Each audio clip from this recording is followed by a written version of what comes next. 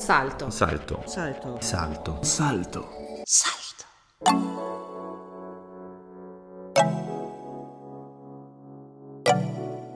Costa Discordia. L'interruzione di Michiel Costa. Ein Zwischenruf von Michiel Costa.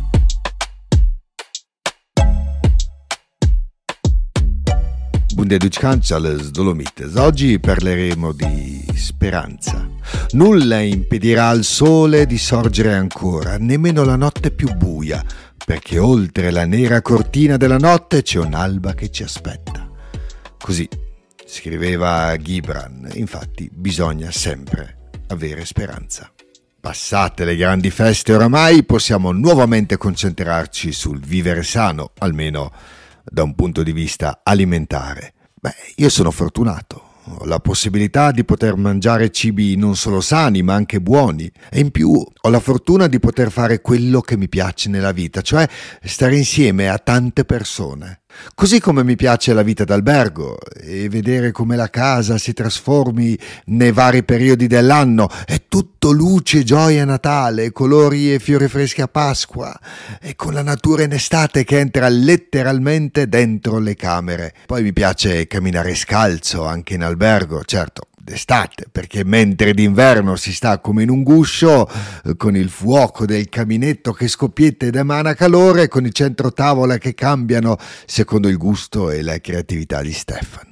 Eh già, il mio mondo è proprio un bel mondo e mi piace annusare profumi nei vari ambienti e, e, mi faccio gli occhi belli nel vedere i cuochi che danzano intorno ai fornelli e i sommelier che assaggiano il vino in meditazione quasi e mi conquisto un buon cocktail fatto da Monsieur Antoine la sera al banco e mentre ascolto la band che fa musica di qualità, sì, perché qui si fa musica di qualità.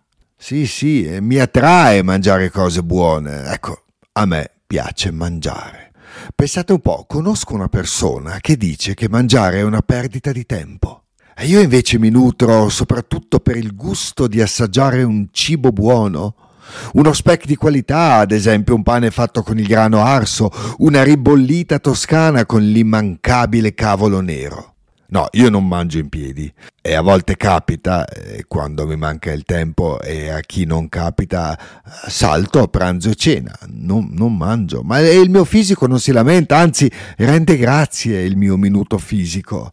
Piuttosto di mangiare male, non mangio. Sì, lo so che sono fortunato. Sono fortunato e quando sono felice cerco di farci caso, eh, come titola un bel libro di Kurt Vonnegut, geniale istrione della letteratura americana. Uno dei suoi consigli recita: fate ogni giorno una cosa che vi spaventi, ad esempio cantate. Ed ecco che al mattino canto fra me e me un motivetto tipo Anche le Rimus di Frank Zappa e la paura svanisce, io non so cantare. We got time on our side. We're in a state of hope. I need you on my fire. I want you to know that every time you're away, I long for you so much I can find my way. We got everything here, at least to stay alive. And the time makes it all worthwhile. Got this place on. Do you feel that we got something strong? And I saw you walking the. Ma del resto si dice canta che ti passa, no? Comunque, tornando a noi, mi piace anche una bella bistecca fiorentina, ma solo se so da dove viene. Provo insomma ad evitare la carne. Il motivo è semplice. Il corpo umano può benissimo consumarne poco, eppure una parte di umanità di carne ne mangia anche troppa. Sappiate che adesso 7 miliardi di bovini stanno per essere macellati, con tutto ciò che la faccenda comporta. Spesso sono carni troppo lavorate, sono alimenti ultra processati che subiscono una serie di lavorazioni industriali e questi alimenti sono caratterizzati da un'elevata presenza di additivi, di conservanti, di coloranti e altri ingredienti artificiali che possono avere impatti negativi sulla salute. Non lo dico io, lo dice la scienza. I nitriti contenuti nei würstel, nel prosciutto cotto, nei salumi, ma sono davvero cancerogeni e andrebbero vietati. Quindi la produzione di carne ha un impatto devastante sul nostro ecosistema. E per tutte le persone in questo mondo che di carne ne mangiano assai poca, un terzo ne mangia troppa.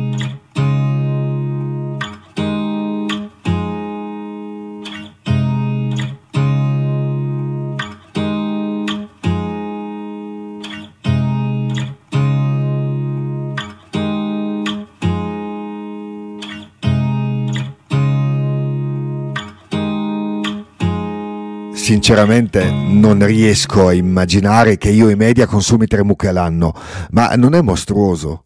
Una consapevolezza che mi porta ad accettare, eh, sì, non senza qualche ritrosia, alcune inevitabili verità del tipo i prezzi saliranno, i politici avranno delle amanti e noi diventeremo vecchi. Ma insomma, dai, forse, forse, forse è il tempo di diventare vegetariani prima di diventare vecchi e di vivere più felici. Tutto il trasporto mondiale inquina la metà rispetto all'inquinamento causato dall'allevamento dei bovini. Sì, nulla di nuovo, lo so, ma fa una certa impressione sapere che l'allevamento intensivo quota il doppio rispetto a tutti i trasporti, inclusi aerei e navi e mi fa, mi fa, davvero sorridere la difficoltà che si fa a far comprendere l'importanza di limitare la carne, ma non parlo della carne del vicino di casa, di Hubert, mio vicino di casa, bravo, attento contadino. Io so come stanno le sue mucche, so gli spazi che hanno a disposizione, come si alimentano, come vengono trattate. Il, il, problema è che potenti lobby del potere gestiscono i grandi commerci come al solito e spesso è una questione di prezzo, eppure non esiste, non esiste un cibo buon mercato. Il cibo allevato con cura costa energia e soldi. Il contadino di montagna ci mette amore e ci mette fatica e i suoi prodotti non possono essere svenduti. Eppure i piccoli produttori spesso sono stretti in una morsa, devono quindi provare a produrre di più perché i prodotti non hanno il valore economico che dovrebbero avere. Lo dico da mille anni.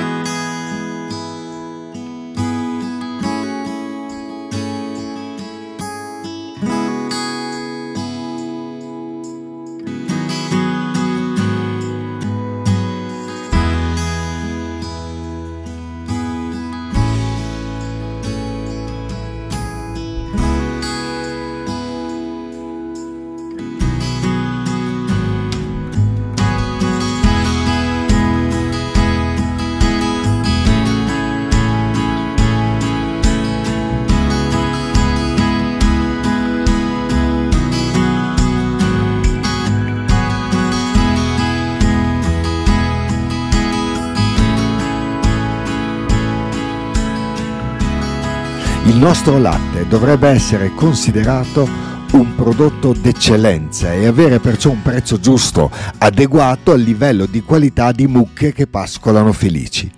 Come poi sia possibile che gli yogurt sudtirolesi, con il latte che viene pagato 55 cent al litro, o meno più o meno, da quello che mi risulta è in Trentino anche meno, come questi yogurt si trovino sui buffet di mezza Italia, no, direi dell'Italia intera, perché li ho trovati veramente da Osta a Palermo, ma questo rimane un mistero, un mistero per modo di dire. Mi arrabbio quando sento dire che 10 euro per una bottiglia di olio extravergine d'oliva sono troppi. Ma sapete il lavoro che c'è dietro?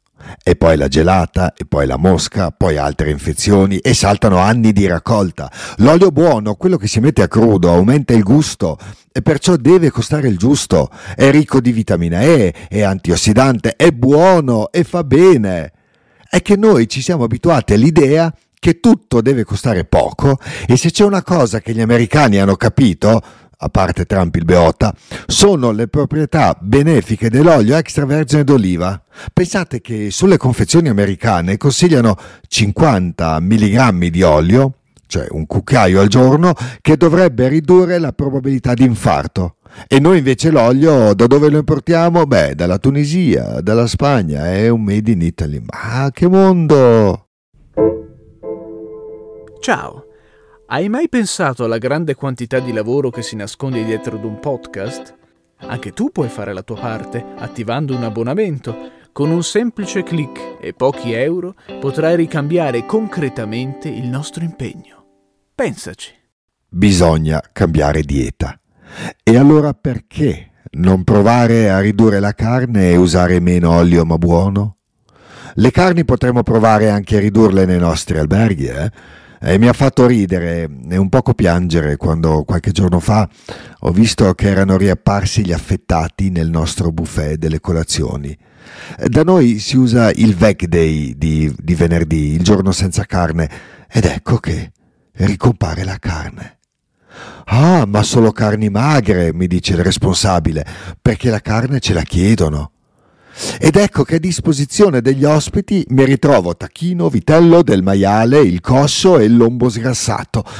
Ma non è così che riusciremo a educare i nostri ospiti, che devono e possono essere educati e lo accetteranno anche se è per una causa giusta o il Veg Day lo facciamo bene o non lo facciamo e vale anche per i collaboratori ovviamente che hanno a disposizione immensa due Veg Days settimanali nei quali ci sono tantissime prelibatezze. E poi ho visto poco prima della eh, chiusura di, eh, di un'attività eh, che abbiamo che nel nostro buffet delle colazioni c'erano ancora molte brioche e uova strapazzate. E certo, nulla va buttato, ma anche qui è l'educare ad essere più parsimoniosi il messaggio che deve passare. Trovo buona l'idea di usare dei doggy bag o di chiedere all'ospite che non ha finito il cibo e senza ver- vergogna né per chi lo offre né per chi eh, lo riceve, eh, se gradisce che le rimanenze vengano incartate.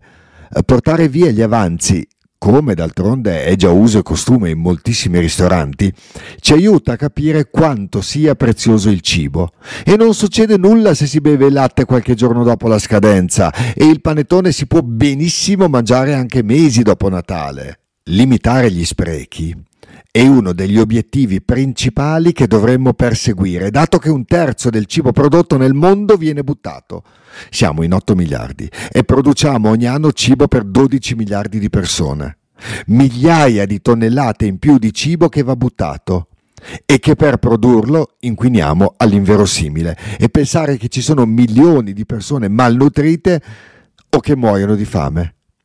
Ma anche questa deve essere una nostra missione. Ridurre e riciclare per essere davvero felici. Almeno un po', dai.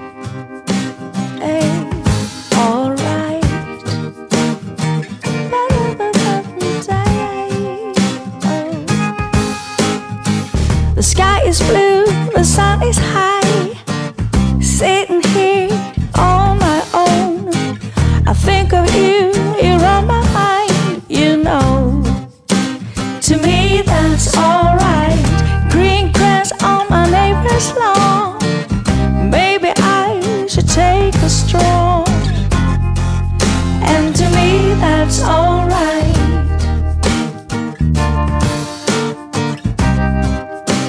To me, that's alright. I... Bene, ha fatto molto freddo in gennaio e quindi la crisi climatica è finita. Invece no. Sono solo fenomeni estremi e i picchi di freddo non sono null'altro che una manifestazione di una crisi climatica che continua e che perdura e che si aggraverà.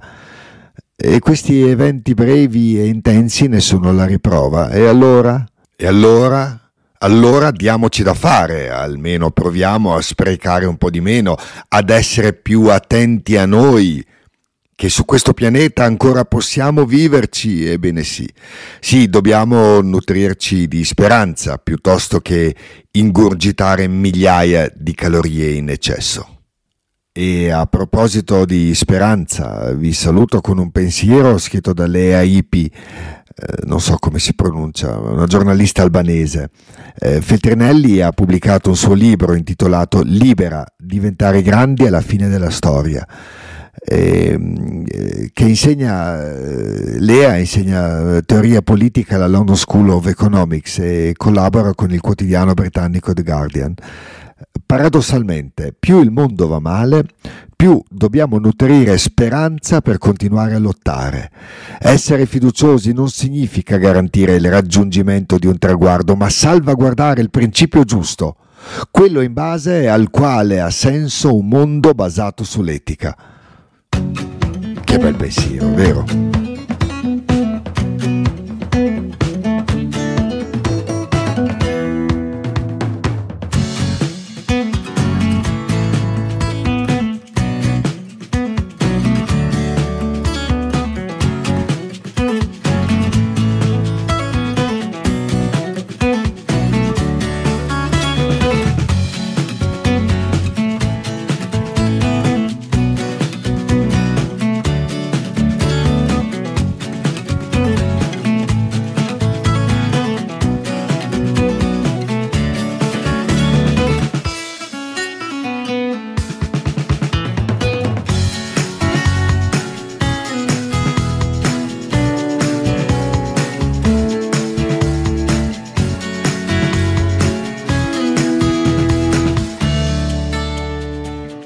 Eh già, avere speranza non ha niente a che fare con l'andamento del mondo, altrimenti non avremmo speranza. La speranza è una sorta di dovere morale ed è il contrario del nichilismo. Paradossalmente, più il mondo va male, più dobbiamo nutrire la speranza di poter cambiare le cose, in meglio, è ovvio, e io ci credo fortemente. Vabbè, eh, posso da qui, dal mio ufficio, ora vedere le montagne io sono fortunato e lo so, e sono privilegiato e lo so, ma questo mondo mi piace tanto. E io vi saluto caramente dalle Dolomiti e non dimentichiamo di fare qualcosa di buono, di ascoltare attentamente l'aquila fischiare e di volerci bene. Adeci Kanchen Belgiulang e dalle Dolomite a Sudai e bye bye.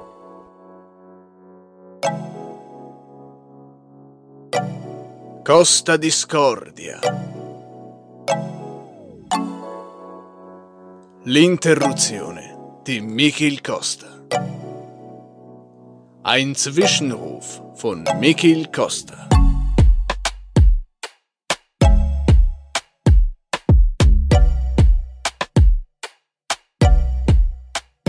Salto. Salto. Salto. Salto. Salto. Salto.